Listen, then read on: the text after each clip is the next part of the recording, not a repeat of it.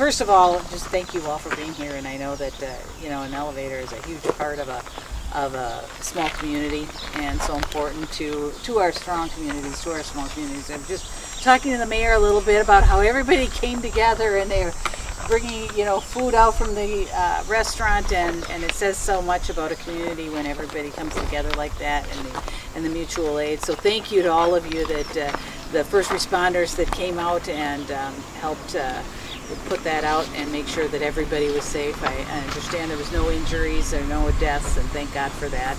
Um, but uh, but we have to move forward from here, like the mayor said. We got to look forward, um, and uh, and uh, you know make sure that we can uh, do what we can to get you guys back, uh, get you back whole. And so I appreciate all of you being here, and and I will say, you know, I talked to the mayor just after and offered our assistance from our office and I know that the, the, the state folks have been out here, the governor has been out, and, and I think that we all want to make sure that you get the kind of assistance that you need and, um, and making sure that we can. Uh, as the Ag Chair in the State Senate, uh, I know how important agriculture is, and uh, these are the backbones of our communities, and uh, our agriculture uh, sector needs elevators. We need good market opportunities, and so anything we can do from the state to be helpful uh, here in Senate District 12, let myself, let Representative Backer, Congresswoman Fischbach know uh, what we can do to work together. Focus on how do we rebuild? How do we make sure Clinton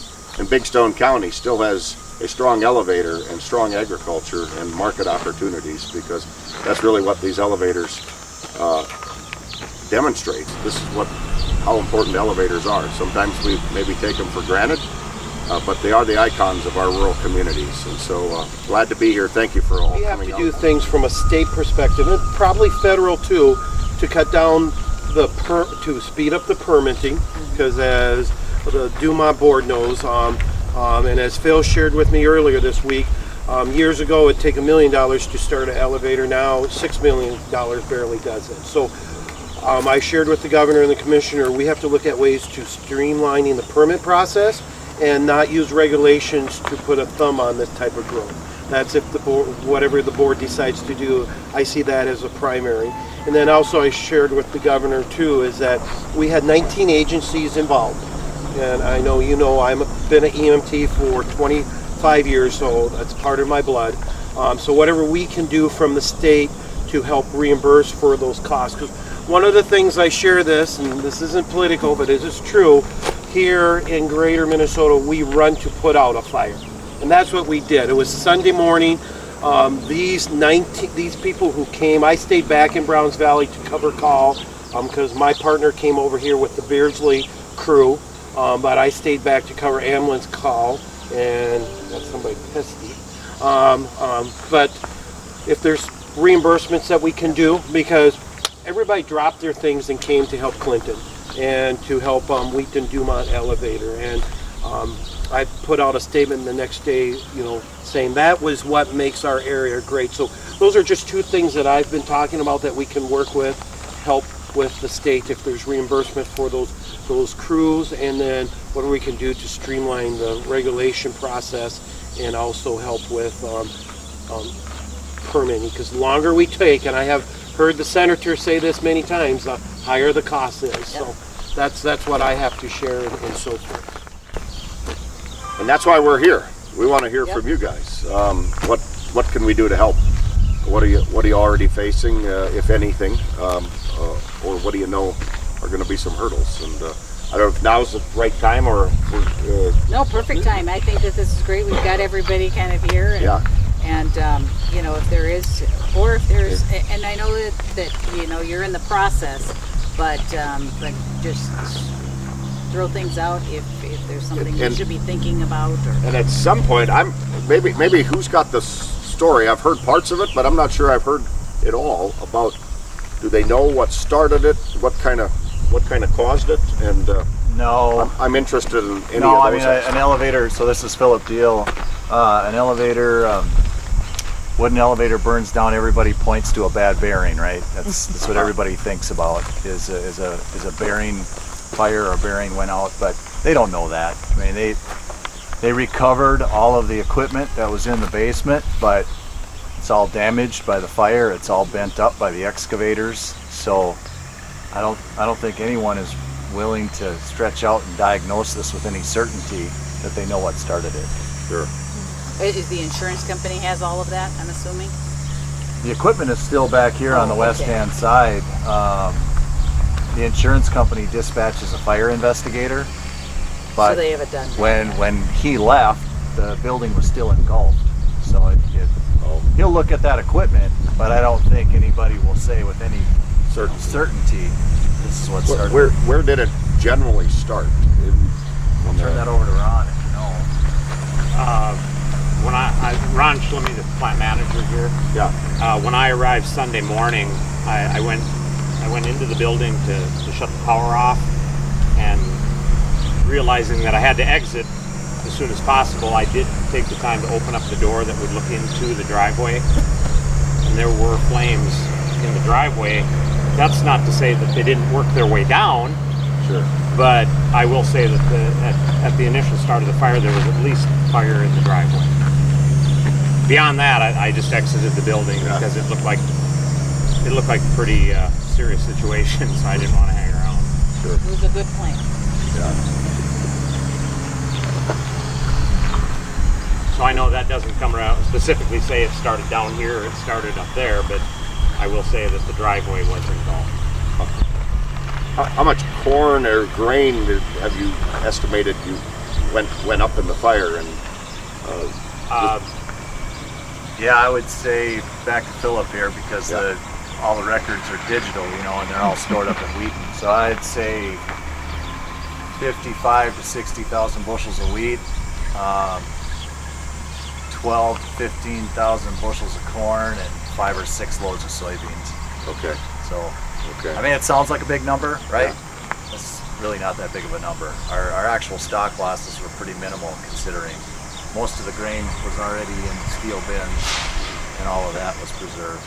Are, are the, the bins that are here, are they still full or most, are you getting empty for fall? They're not full. There, there's maybe about another 100,000 bushels on site, Okay. but So th- this bin here, the closest to the fire, was that full or empty?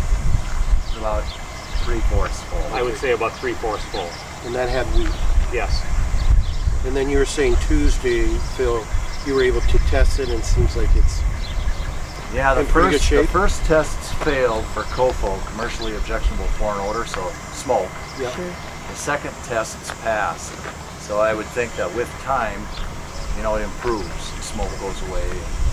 I mean, everything smells like smoke here, right? Well, yeah. Yeah, yeah. Mm-hmm. This is better today than Tuesday. Yeah. Tuesday, when I left here Tuesday, I you, you taste smoke and smell smoke for the whole day. It was amazing. The breeze helps us. And that's one of the things that they talked about in there is that day Sunday is there, there was no wind. You know, because if you're looking here, these folks here, they were pretty. And if you had a bad wind from the the west um, and so forth, that would be. And, and, and, and the two fire chiefs, I would be interested in how that all played out. What was what happened? You know, the, some of the timelines or maybe Donna, one of you guys could share the congresswoman and, How, and how the did you fight it? Interesting. Well, I'll say that if uh, we would have had a wind out of the west or you know northwest, it would have been very devastating to the town because there was little, as dry as it is right now, there was little grass fires out on the softball field. We put one out on the baseball field. Um, one of the neighbors over here, his cedar shakes on his roof of his garage started on fire. So if those embers would have been going that way instead of that way, it could have definitely been a lot worse. So when you got the page, when did you, de- obviously, did you then obviously right away uh, dispatch Ortonville, Graceville? Yeah, I know so you didn't do Beardsley right away, but I guess Graceville and Ortonville are your mutual aid. Yeah. I'm you did that right away. Yeah. So I was just getting home from my son's baseball tournament and got the page and I turned around and left my yard and I came around the corner and could see the smoke from my house. I live four miles away, so I immediately radioed dispatch and had them get Graceville and Ortonville coming right away to provide mutual aid. How many others ended up coming? what was it? Nin- 18 total, 19 with the ambulance. Is that right? Or 19, 19 fire including, department. including Clinton. Okay. One of, one of the things that I heard too, uh, is, is that quite a few farmers came to the tankers to help out. Yeah. Because as, as you probably have heard, there's no small community that has the pumping power to pump that type of stuff. We were drawing water out of the, the, the lake and using the tankers to fill that to keep, keep the water on site. Walk, walk us through that a little bit, uh, fire chiefs. As How- far I mean, just to kind of, those are the types of stories that are helpful when we start talking about infrastructure and, Well- you know, preparing for future. yeah, when when Ortonville got on scene, I'll let Chuck kind of explain what they did as far as getting water from Eli. I think Up we were here. the third department. I think Clinton was first, and Graceville came and set a pump up to start pumping out of the water tower, out of the local supply. But you could see there wasn't going to be enough water, so we set up on Lake Eli and ran hose from Lake Eli to here and started pump drafting out of Lake Eli to pump water to another pumper up here to start spraying water. Okay. Then that fed the that fed water going in the elevator until the next morning for over 24 hours. How far is the lake? Well, it's 1,100 feet. I think so much holes we had, Okay. and then that shut down. That's what shut down Highway 75. Oh, I see. That, because we ran our holes over the. There wasn't a culvert Had to bring close it- enough, Yep. so we drug the holes through everyone's yard and over 75 Oh, interesting. to keep that much So, so, water. so you were able to then pump enough out of the lake to keep keep the supply you needed. to keep for our trucks. For we had three trucks here, Okay. so we supplied water for our three trucks all day, and then Morris is ladder rig starting at like eight o'clock. Once the tankers stopped, when the fire got down low enough, then we switched our supply over to the, the ladder rig, and then they pumped water. Dawson pumped water from Lake Eli, uh, that ladder all night. So, so they had their own pumps going the same way as you. Yeah, the big. I think one of the. I mean, everyone was good here. One big help to us was when the state fire marshal came, Okay. because they brought a lot of resources and getting mutual aid from farther out.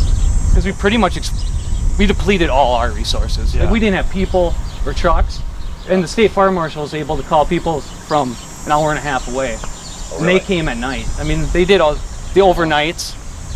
Those fire departments. That Yeah. first overnight, people from an hour from Dawson, Benson. They Cyrus. covered overnight, and then the next morning, um,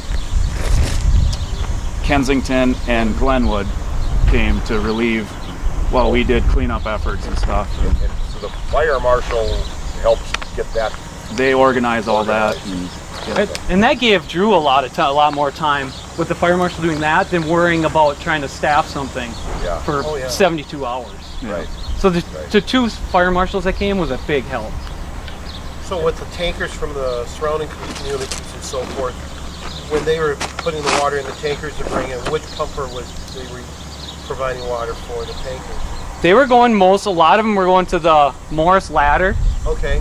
and then the your trucks. we had- Our Clinton trucks. yeah, we had Clinton trucks set up over by the school, Okay. and they were feeding drop tanks over there.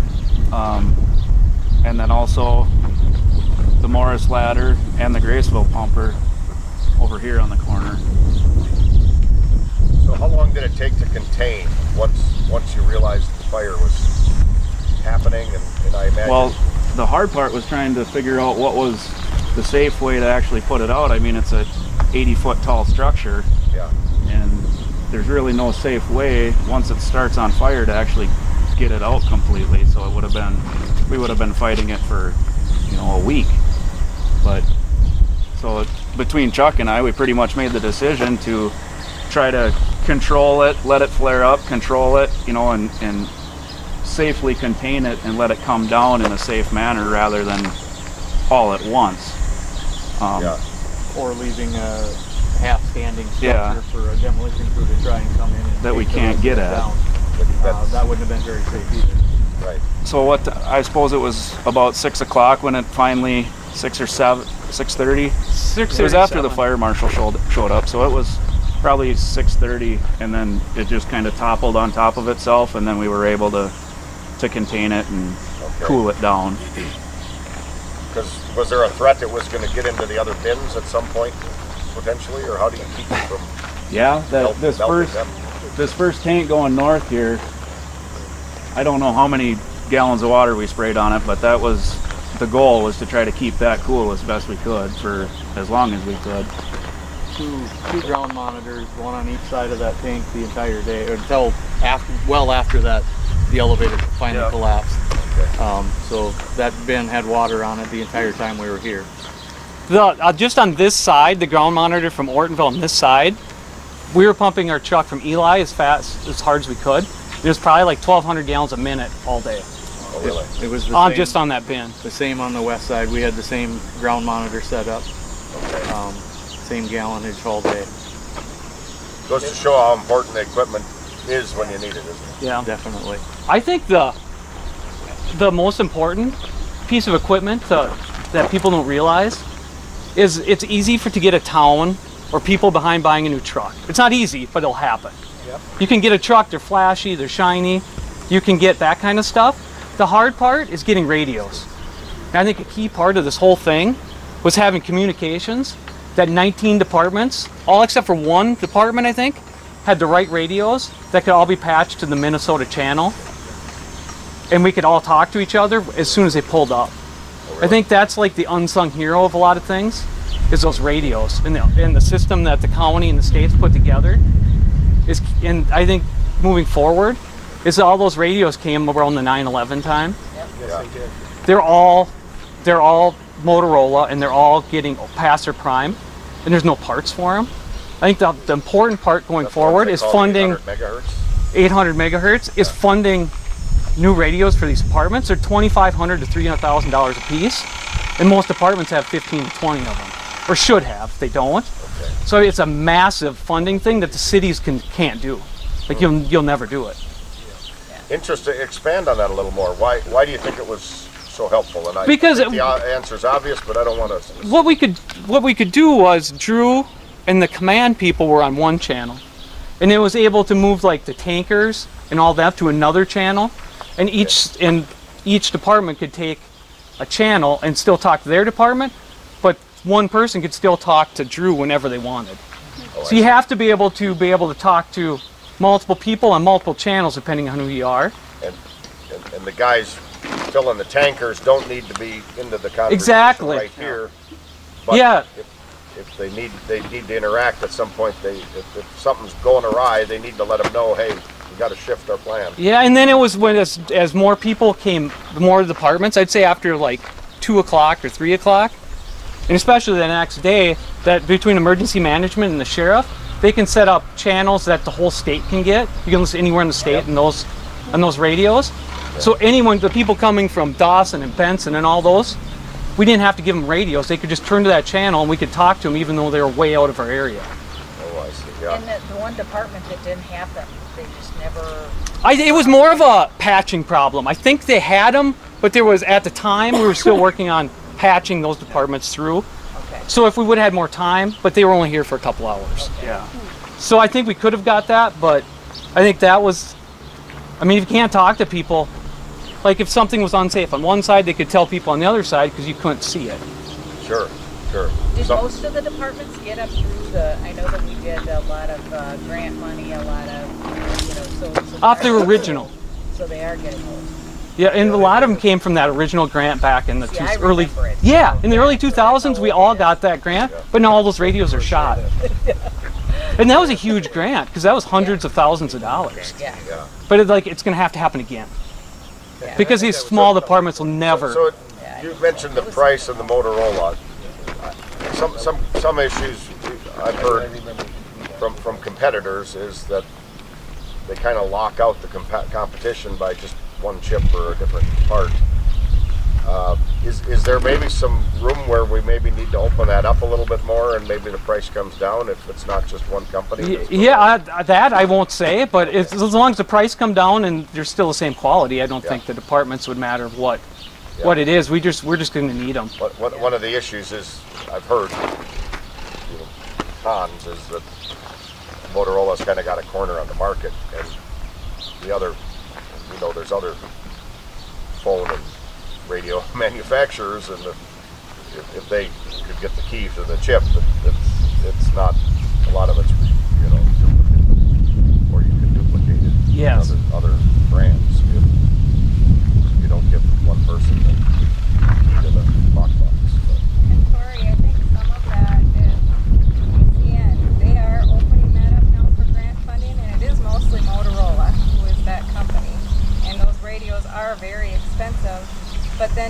Be able to um, have that FirstNet, um, have that coverage for the cell phones out here, better coverage with cell phones, and then be able to use those cell phones in the way that we can use that radio someday out here. It's coming, but it's slow out here in western Minnesota, in the hump of Minnesota. Okay. So to work with ECN on that, that would be very helpful also. So, so to understand it, you're, you, you see the day where the cell phone could actually probably have their capabilities of the radio embedded in, in For it. some emergency responders, like ambulance, 1st responder Okay, types of okay. groups, maybe not the fire chiefs right at the scene. Right. That cell phone isn't gonna, you can't hold that in your hand. Right, But it could help them get to the scene quicker. okay.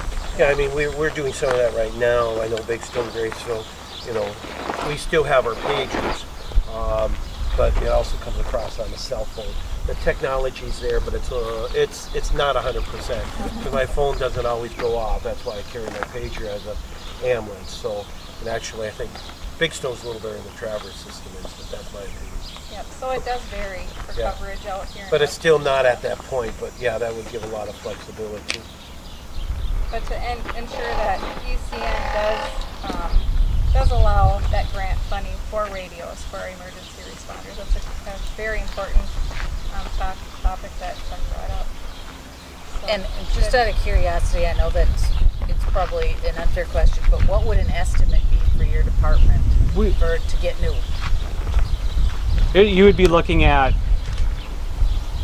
eighty thousand dollars, ninety thousand, Yeah, he's and that's just I. That's just Ortonville. That's just Ortonville. I mean, that's not the county, so yeah. So it's, it's the small towns are.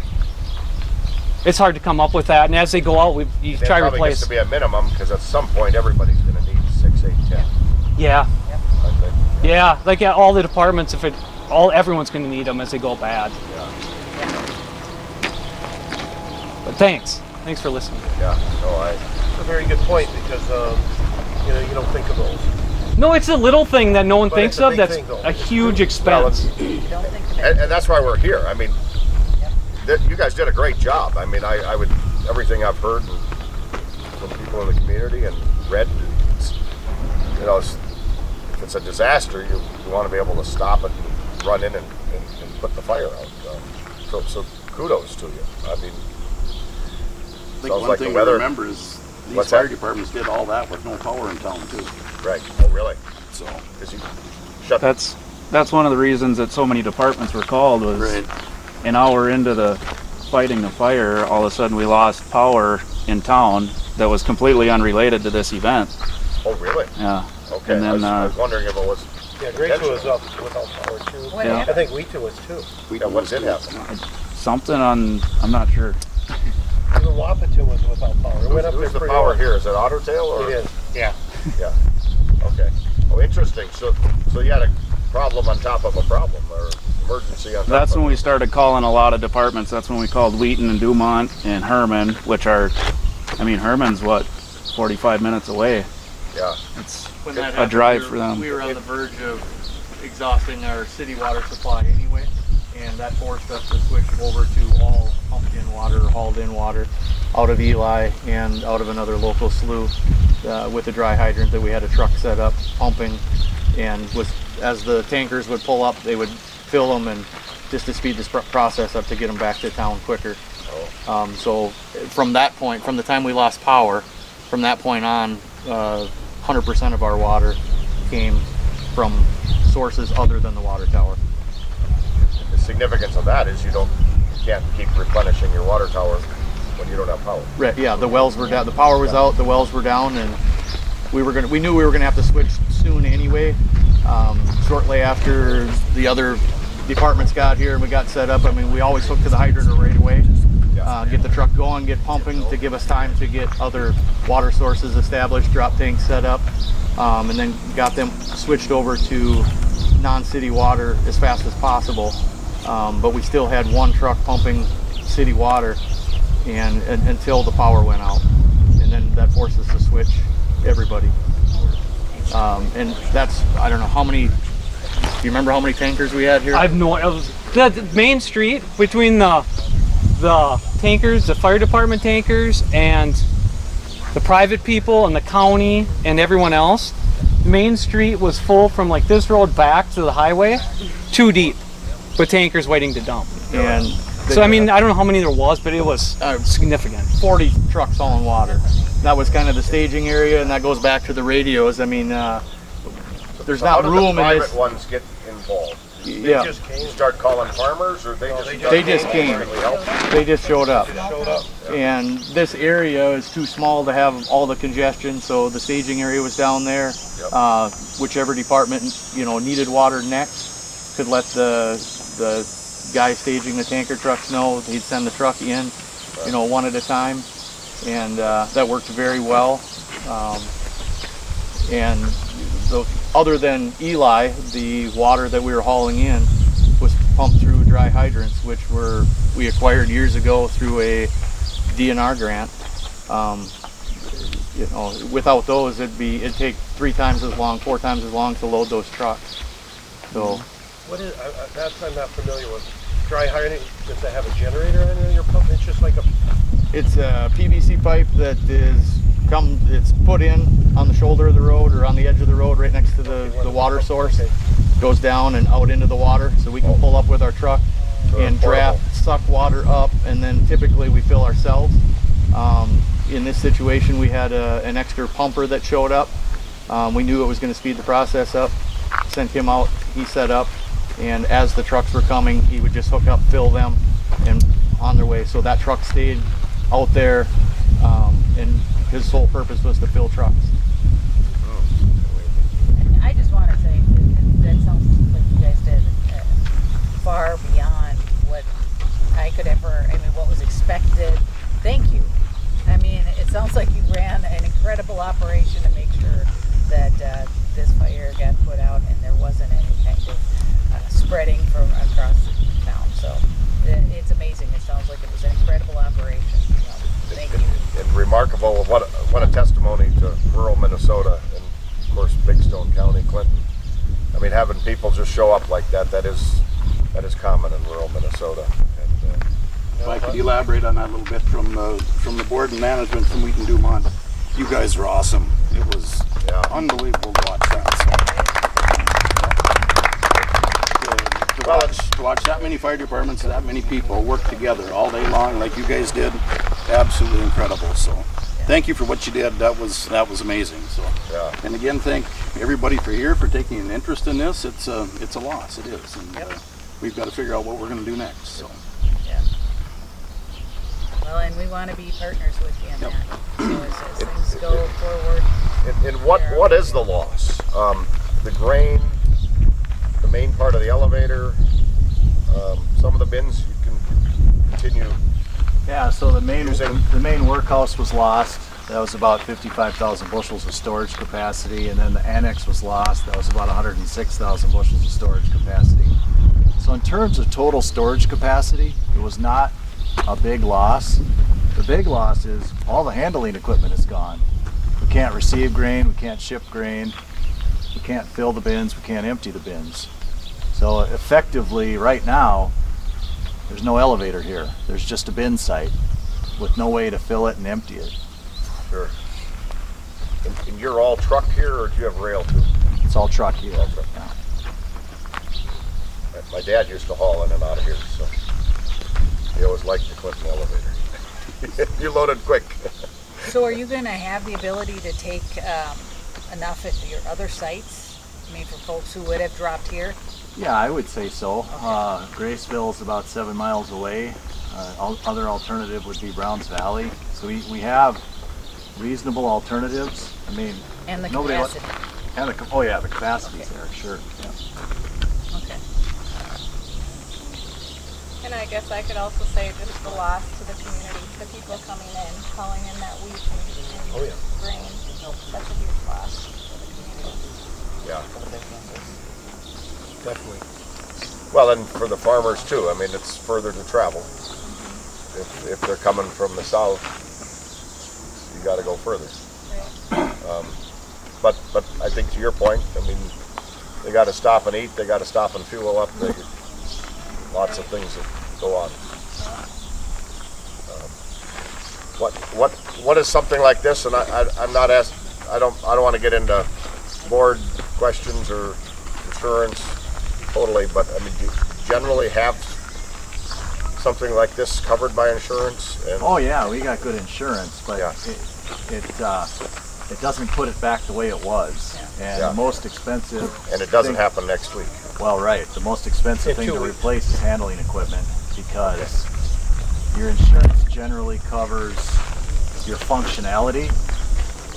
Well, unfortunately, the functionality here was was slow, and and that's about where it stops. So anything that we would do would require significant upgrades. You're not replacing like with like. You're replacing like with today's standards. So you probably have a magnitude of six to one costs coverage versus what it would cost to replace it. Oh, really? Yeah. So, And that, and that deals, that's not necessarily the structure, it's the handling equipment. Well, I was on a I was on a phone call yesterday to replace the head of a conveyor. It's a 26 week wait. it's what, twenty-six? 26 week wait. Oh, really? Really?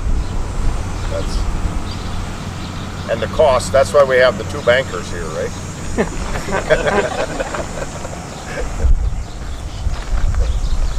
So, so those are some of the decisions the board's gonna have to wrestle with. Yeah. How do you- The reality is, is this this place will have no functionality this fall. It's Yeah. just Can, can you, can you use the bins at all with temporary augers or anything, or not? well, they're too high. Yeah, I mean, you can get a 130 foot auger, but by the time you put the angle on it, you won't be able to reach it. sure. So as a practical matter, Yeah. it's, it's, it's idle till you can get the right equipment in. Hmm. How many bushels in a year do, does Clinton elevator run, go through? A couple million. A Couple million.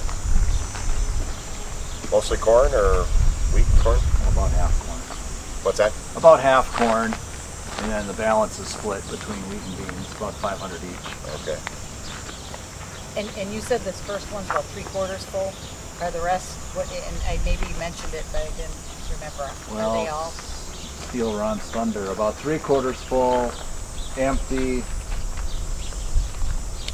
seven eighths full, and then pretty much empty beyond there. Okay. So how do you empty them out now? That's easier than filling them, isn't it? There's truck spouts on them. We'll be able to get them about two thirds empty, and then the rest will have to be backed out. Okay. And, and this grain mostly goes where?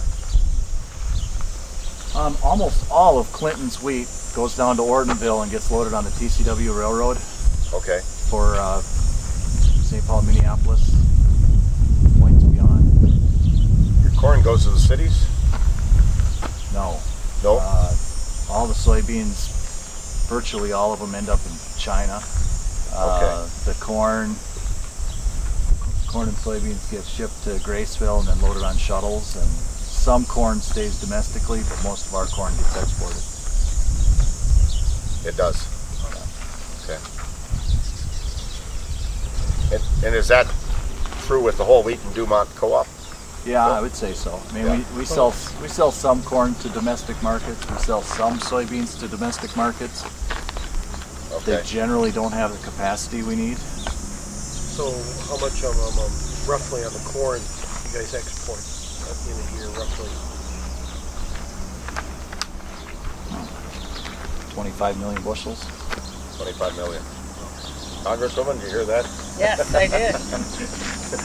That's a lot of exporting, isn't Yep. it? Yeah. Just just from, I mean, It's really a small area a, of the. Yeah. a, a region of western Minnesota. Probably about 12 million bushels of beans get exported. How many how many uh, sites? Do you still have the Ashby elevator now? Yep. Ashby's kind of the north. Isn't it about 13 sites you guys have? Yeah, that's about right. Ashby's the furthest northwest that we go, or northeast that we go. Yeah. Britton would be the farthest west.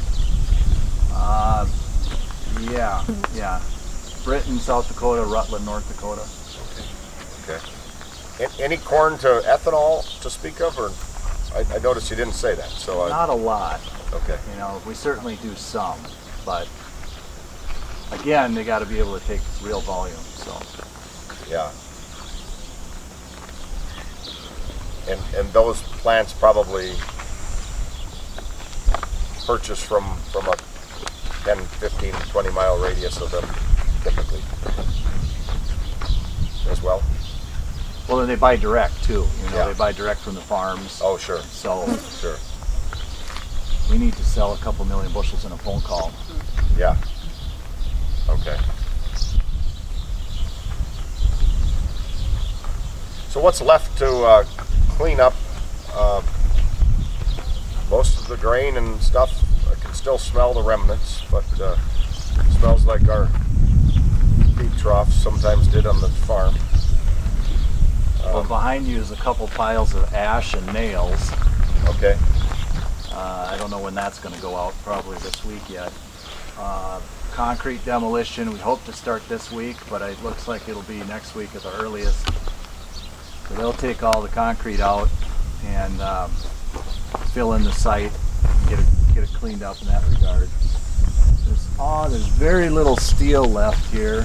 A little bit of scrap to the north, and some parts that the insurance company saved to the far north. Is that grain pile in the far north gone? They're working on that right now, Okay. I believe. Okay. And So- pretty much the foundation is kind of there, that's what I've been talking about.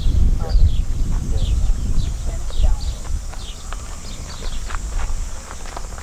In, in, uh, when, when do you anticipate plans, uh, rebuilding, what you would need, to Jeff's point? Any permits, regulatory stuff that you aware of yet, or I would think what? I what- would think permitting and regulatory issues would be kind of under control, uh, Yeah. but it's going to take it's going to take a month of arm wrestling with insurance just to figure out where we are on step one.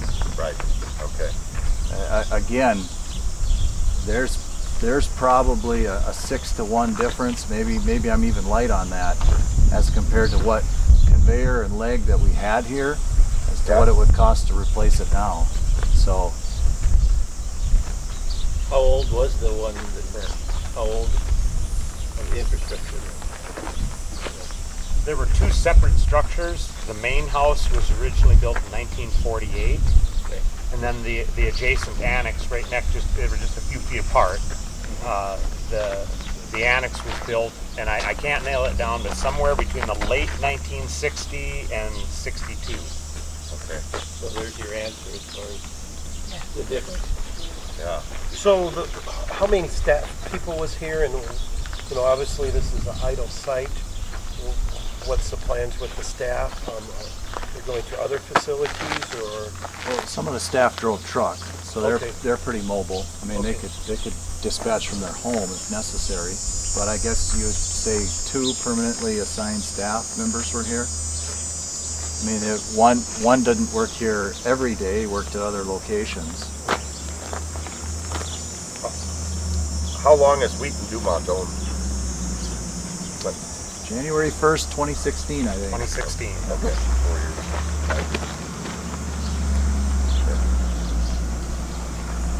I was visiting with Ron the other day, and I think you said you've been here for 41 years. Is that what you said? Since the fall of 78. 41 years. That's a long time. It's got tree Looks like. rings on it. Started young. Yeah. Yeah, did start young. yeah. it doesn't feel like it is. So, so if, if you look at silver linings, what, what, what would be building back uh, better? Why? Build- What would, what would come, Yeah, here's come a silver lining. I mean, this is uh, kind of crazy to think this way, but if you want to call it bad, if you want to call old bad, everything old and bad is gone. It burnt down and is gone. It was slow and it was small. okay, If you want to call that a silver lining, I guess you could. That the, be faster, the majority of the storage capacity is still here and it's modern. But part of it, you know, the unload speeds were slow, even though that it was modern. Um, the, the bad part of that is again, it goes back to all the functionality was inside the, those buildings that were lost. And uh, Clinton was known as a, as a wheat handling site, handled a lot of wheat for Wheat Wheaton Dumont. Had a number of bins that are gone now. Um, I don't know, 40 bins maybe. Between the two, yeah, Yeah. 24 bins in the in the main house and 18 in the in the, in the wooden annex of a variety of sizes. That made it that it made it real flexible for doing what we brought to the table was the ability to uh, to, to create premium quality wheat, So I meant, Able to mix. right, as needed, And, and you need to separate to be able to do some of it. right. Okay. As Philip was saying, our functional functionality has kind of been taken away. that's where the costs really skyrocket. When you talk about replacing that functionality, you're probably talking 25 to 1 now, not 6 to 1. Oh, really? Yeah. And over the years, part of that was because things got bigger and the smaller stuff you could put to good use by, The market, the market still likes to be, buy wheat small. okay. The market does not like to buy corn small or soybean small, but the market still trades wheat in small increments. Flour mills actually got a lot smaller. Really? Yeah, yeah. So, so by comparison, what, you, you kind of mentioned two million bushels in a sale, I'm assuming you were talking corn. What would a wheat sale range Well, a from? corn, a corn shuttle is 450,000 bushels, a soybean shuttle is 425,000 bushels. Ron and his staff were loading 25 car trains a week in Ortonville, so say 85 80,000, 85,000 bushels. Okay. And that's in what type of timeline? Well, the Twin City and Western has always been pretty generous with their, the time that they allow. Uh, for our facility in Ortonville, it might take three days. Three three regular work weeks. Yep, yep. Just was wondering. That 25 car train, once it got to a yard in St. Paul, that might get broken up five, six different ways. So might, two might go here, five might go there, but it, but it leaves here in a group of 25. So, so a broker or somebody's buying it as a group, a, a, buy, a purchase group Yeah. In the cities, but it might go to five, six different mills. Right. Yeah. Yeah.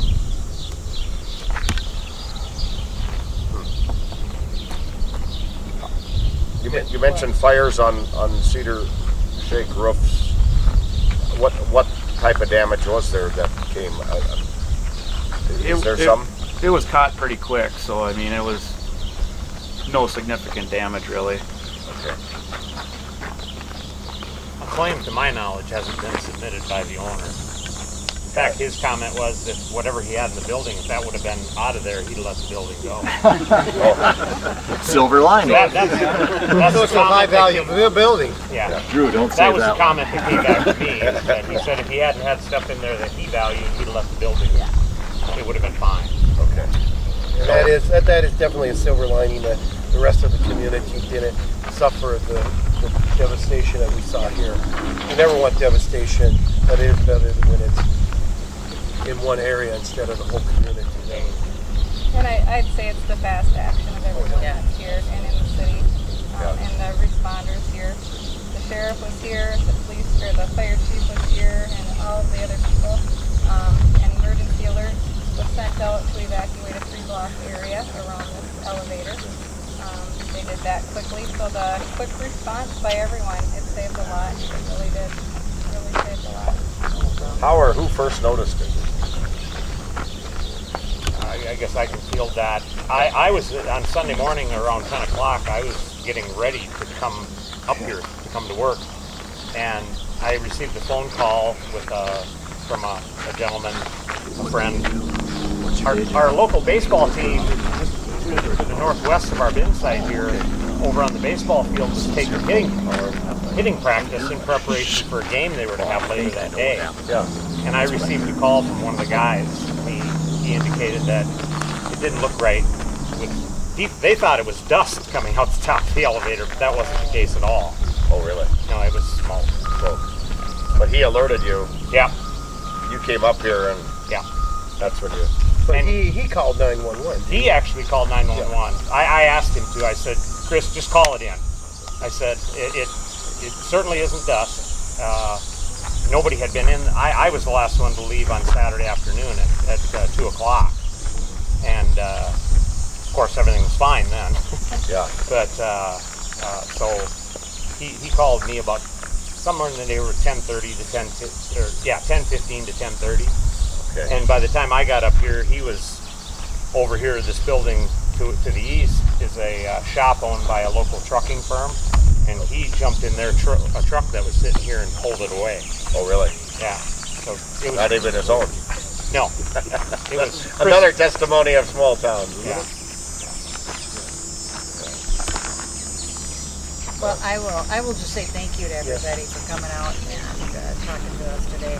I think we're, we're making another stop, so I don't want to keep whoever's waiting, waiting. Um, But thank you again, and I know that uh, Ben Anderson, District Director for my office, he's got cards, and so I think it's very, very important to stay in touch. And uh, so you can keep handing those out. Please reach out. I, I know it's, it's not going to be the quickest process to, you know, as you're talking about months and things like that, but please keep us in the loop and anything we can do. And both Torrey and Jeff will, you know, want to be in the loop too and make sure that you guys have a special session coming up. We do, and, and Tuesday the governor confirmed it again. Yeah, so there you go. So, um, you know, we, we do want to do what we can to help, so please keep, keep us informed on it. Mr. Fishbach, I'd like to reiterate thanking all the local fire departments, but we have to emphasize, these are volunteers. Yep. And, I mean, whatever we can do, if they need uniforms, this just proves how important and how expensive it is for the small community. So, whatever we can do, or you folks can do, it'd be greatly appreciated, because I know they can't do this on their own. You are absolutely right. They are, and they're a vital part, obviously a vital part of every small community. And that's one of the, yeah, and that's one of the things we expressed to the governor, because there is funds for that. There is a, a state fund for stuff like that for replacements, and we are looking into that. Yes, absolutely, right. absolutely. As a fire department, we prioritize our needs every year, and one that constantly gets pushed back. We need equipment. We need equipment. Obviously, safety is important as well, but the average age of the turnout gear that all of our local Clinton department guys were wearing is 20 plus years old. That stuff uh, we're supposed to be replaced after 10. I'm wearing my high school English teachers, and he's been retired for 15 years, I bet. yeah. So, Some of those grants, there are grants there, but some go by number of calls. In rural Minnesota, we don't have the number of calls that maybe a larger city has, so there's competition between those also. I can't So even, that's maybe something we could look at. That's a good point, Donna. I can't even count how many times we've sent in grants for turnout gear because it, it, it's cost prohibitive for us as a small local department to try and buy that. At, at some Um, point, age should count. I mean, Right, if and we get- if, if something's 25 years old, Yeah. Exactly. And that's something, Torrey, we definitely can help that with. was. That, that's definitely That's good something the information. that's a very good point. Yeah. Just like the radio thing, something that we can help locally. I mean, not local, but from a state perspective, that's where we can help. We have the greatest chance of making an impact, that's what I want to say. Well, uh, likewise, I'd echo uh, Congresswoman Fishbach's uh, remarks. Thank you guys for your great response. Uh, uh, fire departments and uh, board members, emergency managers, mayor, city. I, I, realize it becomes everybody's everybody's objective to take care of it, and you, you've reiterated that. When you got farmers, private people coming with their product, their water haulers just to help out.